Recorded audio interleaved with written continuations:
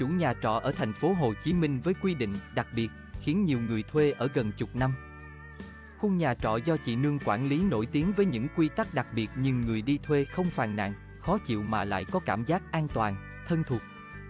5 giờ chiều, tại khu nhà trọ số 12 đường 20, KP8, phường Bình Hưng Hòa A, quận Bình Tân, thành phố Hồ Chí Minh, không khí vô cùng yên bình.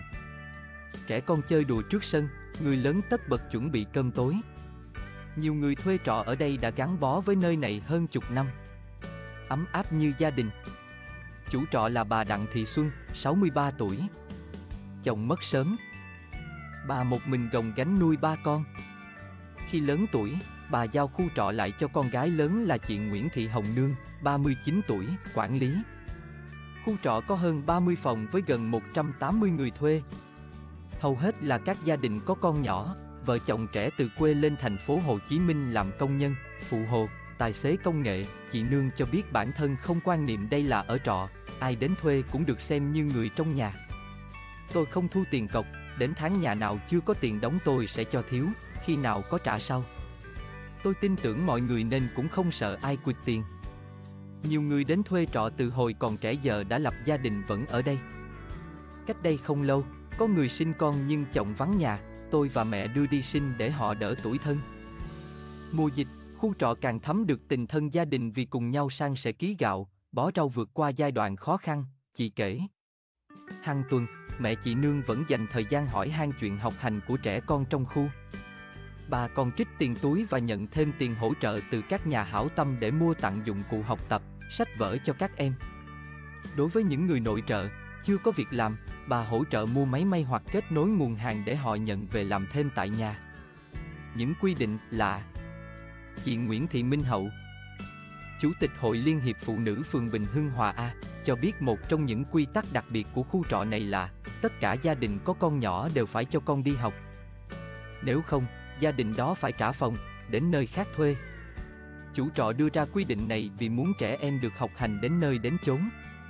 Chuyện học hành của trẻ em luôn là việc được đề cao ở khu trọ này, chị Hậu nói. Chia sẻ thêm, chị Nương cho hay việc học của trẻ em vô cùng quan trọng. Giáo dục là nền tảng cốt lõi để tạo nên một con người tử tế. Chị cũng thường xuyên nhắc nhở mọi người nếu khó khăn phải thông báo để giúp đỡ. Không chỉ hỗ trợ về mặt tinh thần, chị chủ trọ khó tính còn chú trọng vấn đề an ninh, phòng cháy chữa cháy. Mỗi tháng, chị Nương cử khoảng 5 người tham gia tập huấn phòng cháy chữa cháy và truyền đạt lại cho cả khu. Các kiến thức về hôn nhân, xây dựng gia đình hạnh phúc, phòng chống bạo lực cũng thường xuyên được chị nhắc nhở. Vợ chồng có mâu thuẫn phải đóng cửa bảo nhau, tuyệt đối không để con cái chứng kiến ba mẹ cãi nhau.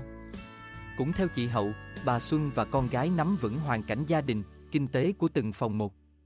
Chị Kim Phượng, 27 tuổi, quê Bạc Liêu, thuê trọ của chị Nương từ nhiều năm nay, cho biết nhà trọ rất an toàn.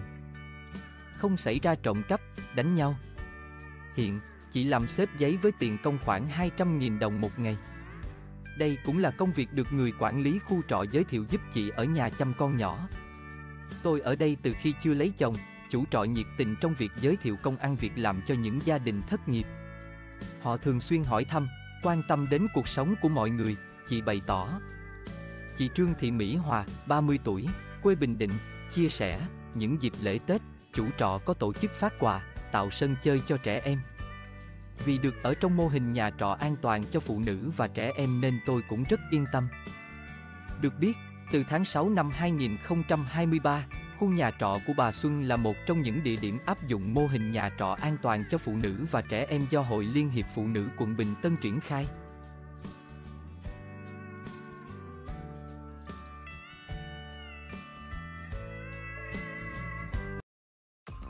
Cảm ơn các bạn đã theo dõi video, đừng quên nhấn đăng ký để ủng hộ đội ngũ kênh.